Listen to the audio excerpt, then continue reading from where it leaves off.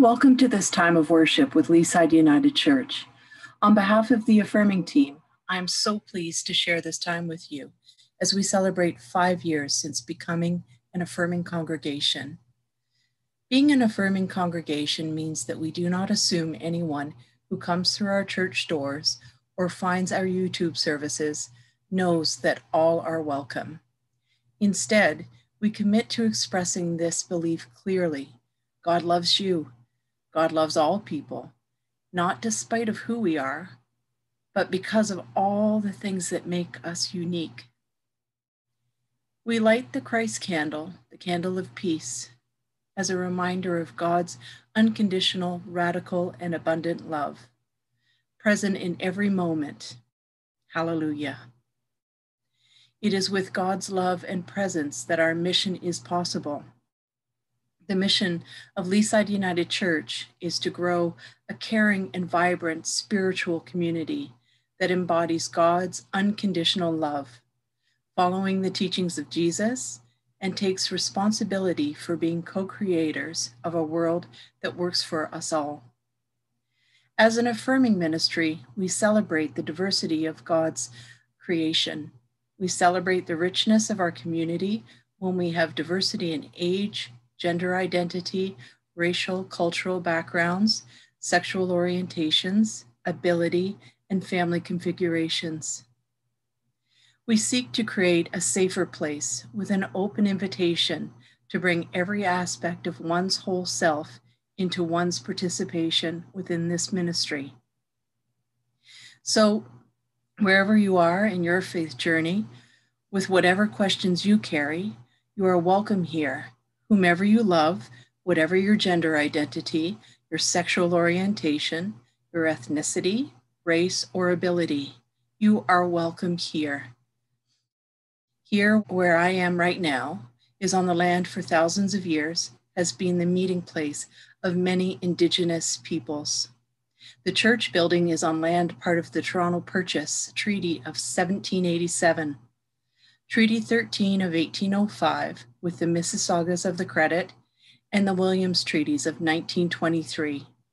We are all treaty people living on treaty land, and so we are engaged in learning and working towards right relations. In the spirit of learning, in the spirit of hope, in the spirit of love, let us join together in prayer. Creator God, you delighted when you crafted us, when you brought us into being, you were explicit in your love. You gifted, you gifted us, us, with, differences, differences that, that, illuminate, illuminate the, the rainbow. rainbow. Open us to your word. All, All are, are, welcome, welcome here. here. Open us to the embrace of community and sustain our public welcome to people of every race, people of every orientation, people of every economic status, people of every gender identity. All, All are, welcome here. Open us to your presence in people of all ages and abilities. All, All are, are, welcome, welcome here. here. Open us to the beauty of truth and intentionally calling out homophobia, calling out transphobia, calling out racism, calling out ableism, all, are, are, welcome, welcome here. here. Open our hearts and our lives to the joy of new life. All, All are, are, welcome, welcome here. We add to this prayer the prayer that Jesus taught so long ago, which has been shared in so many different languages and ways.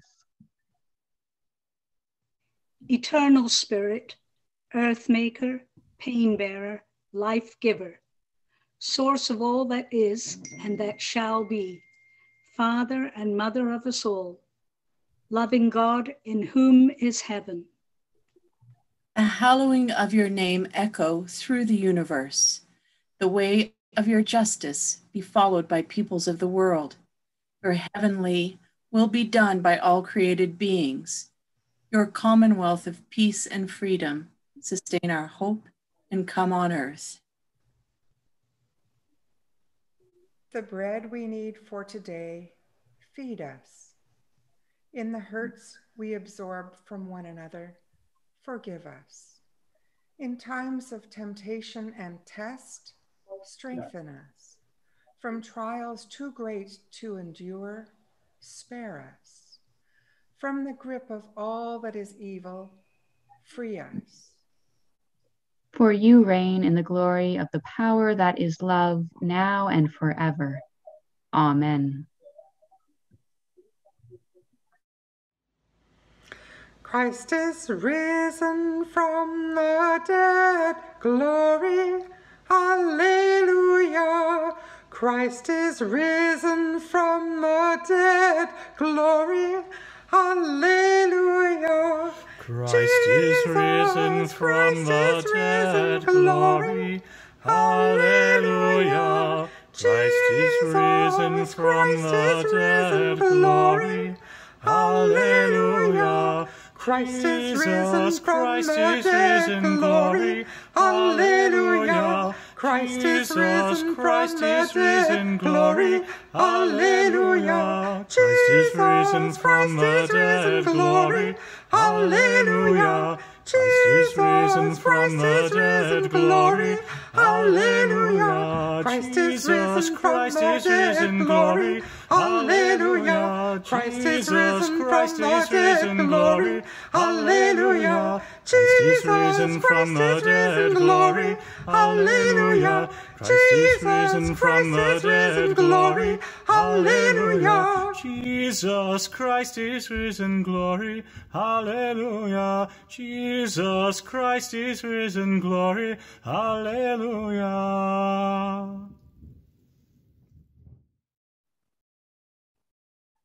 Pay attention to these words from Scripture. We know love by this, that he laid down his life for us, and we ought to lay down our lives for one another. How does God's love abide in anyone who has the world's goods and sees a sibling in need and yet refuses help? Little children, let us love not in word or speech, but in truth and action. You might have been wondering this past year how we can love in action, in action and truth, when so many of our actions have been limited. And you might be wondering this Sunday, as we reflect on being an affirming congregation for five years, where our actions are needed and not just our words. You might reflect on how unlikely most of us are to be willing to embrace this idea of laying down our lives for others when we think of Jesus as the example and his crucifixion and death as an act of love, an act of love born out of caring for the people present with him right then around him, speaking out against the injustice that existed, refusing to be silent when silence would be safer, refusing to be inactive when just going away and doing nothing would be safer.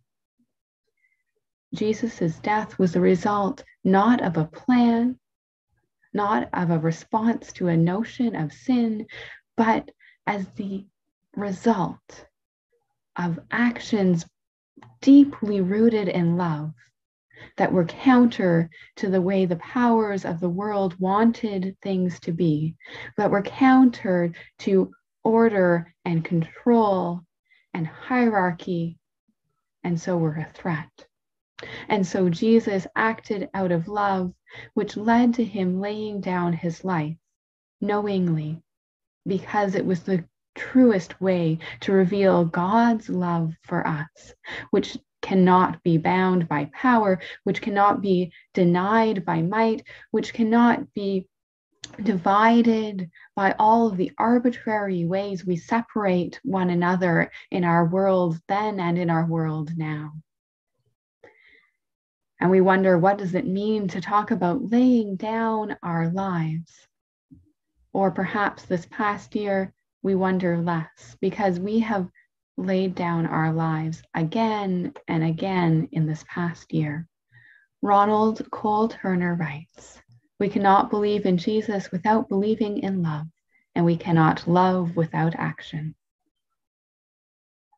You see, love was not, and perhaps still should not be thought first of as a feeling, but instead as a verb and action. Love matters in its expression, not in its vocalization. So, what are some of the actions that you take part in that are an expression of love? Is it a hug, or right now, is it not hugging? Early on in the pandemic, a number of people in our congregation sewed cloth masks to, to donate to hospital visitors. This was before mask sewing and pattern discussions were commonplace. I was at a a gathering, an extended family gathering over Christmas, where most of the discussion was on different mask patterns. Each mask then was a physical expression of love and an expression of our desire to reach out with that love beyond the maker's individual needs and comforts. And those of us who aren't natural sewers found other acts of love to take part in you might have been one of the people who immediately started reaching out to others by phone or writing cards to send in the mail. You might have been, or you might still be, buying and delivering groceries for someone or receiving groceries and meals brought and delivered by others. And all of us, in all the ways we've given up on experiences, have been laying down our lives for others, acting out of love rather than self interest as those in our community and outside of it are vaccinated, but still continue to act with caution, you are acting out of love as well, remembering that the picture is much bigger than ourselves, that the risks that we take have implications far beyond our own individual health. So, what are some of the actions that you take part in, or some of the actions that you don't take part in that are expressions of love? I've been thinking about how often during this pandemic our words are an important part of our actions. What have we been saying or not saying? Who are we talking about? What messages and information are we sharing with others? What letters are we writing to politicians and other decision makers? On our affirming anniversary, we remember that the words we speak and the language we choose are a part of our actions, ones that can have very significant implications. This past year, many of us have been paying more attention to our turns of phrase, paying attention to what we need to adjust in our own underlying language and the assumptions beneath that about race, gender, ability, and other ways that we differ from one another. The words that we say shape our thoughts and the thoughts of others. And so, as we hear today's scripture, we remember that it is not denying the importance of speech, but underlying how our speech must align with our action.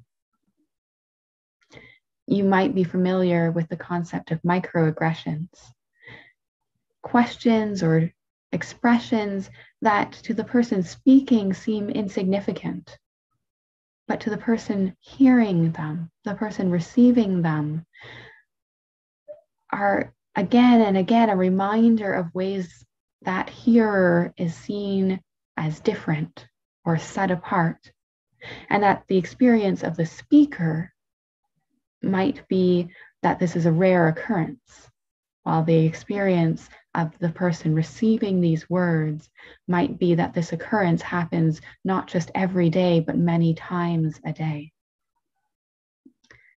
Our speech must align with our action. Our speech must be a part of our action.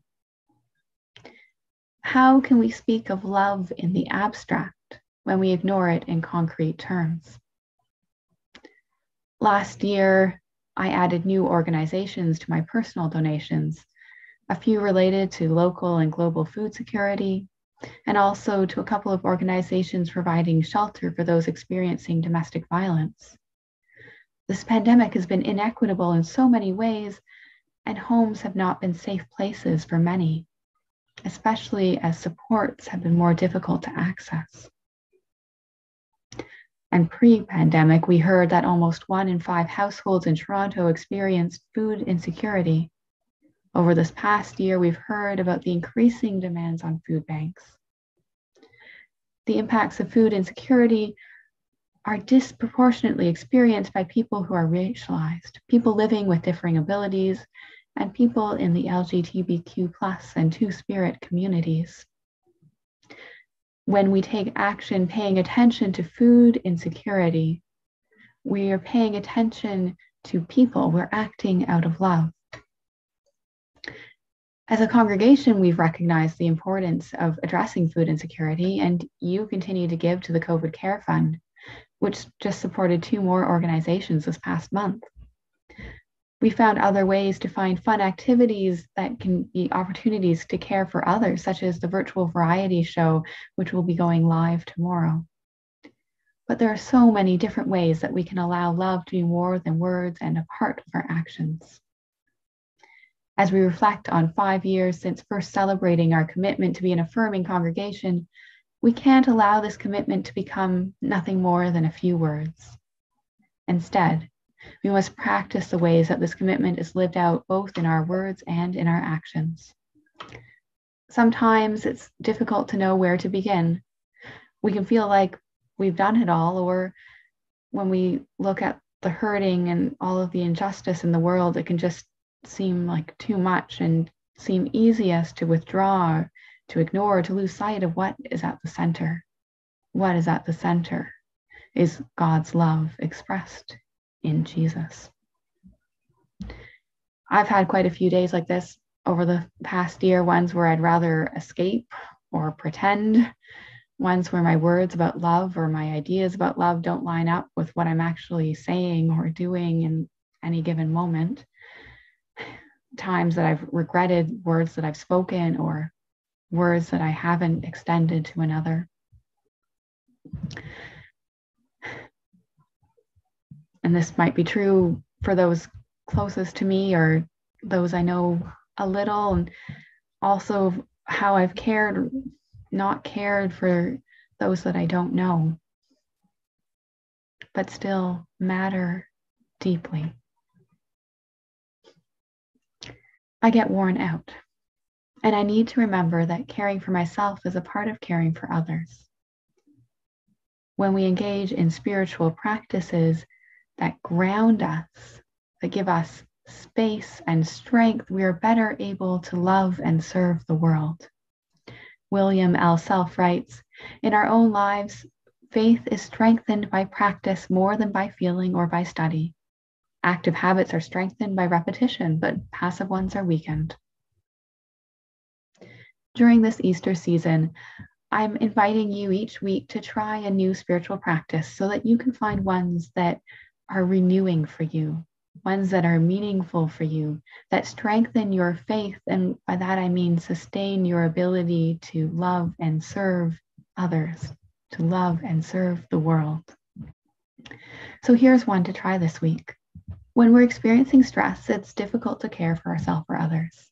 Grounding techniques provide ways to center ourselves and our bodies and to help us feel connected. This is good for us individually, but it also allows us to then reach out with love towards others without our stress and our anxiety and our worry getting in the way and blocking that. Today's technique is shared by the 519 as part of their emotional self care resources. If you don't know about it, the 519 is a City of Toronto agency and registered charity committed to the health, happiness, and full participation of the LGBTQ2S communities, which works to meet practical and physical needs, including extensive food programs over this past year, as well as working to promote inclusion, understanding, and respect. So, try doing this practice intentionally when experiencing stress, a trigger, or a flashback in order to reconnect to the present moment. List the following silently in your head or verbally and adjust the senses according to your own abilities. Five things you see, four things you hear, three things you feel against your skin, two things you smell, one thing to taste. Let us love because God has loved and still loves beyond any expectation, beyond any measure, beyond anything we can imagine. Amen.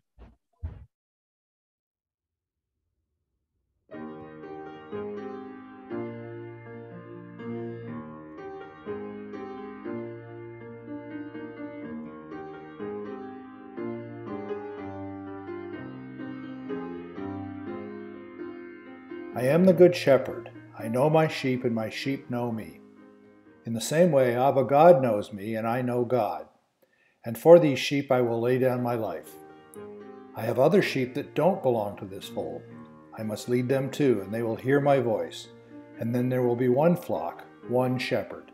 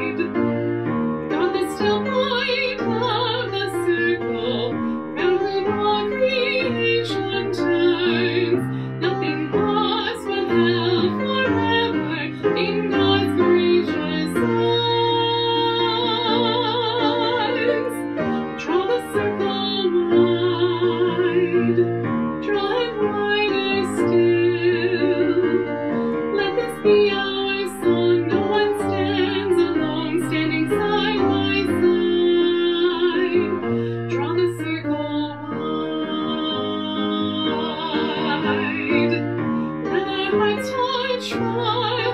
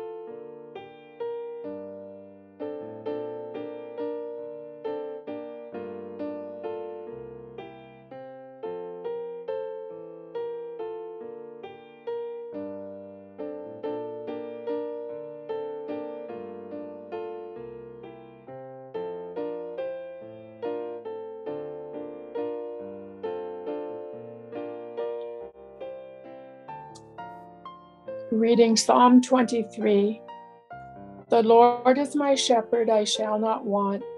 He makes me lie down in green pastures.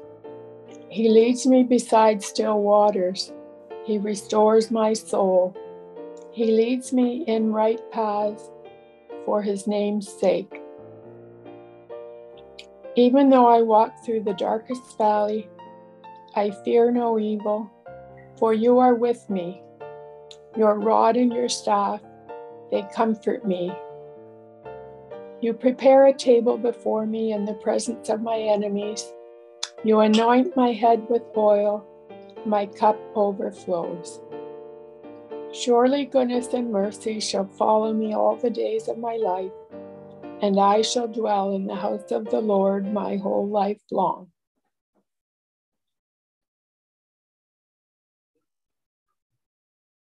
God shares this word.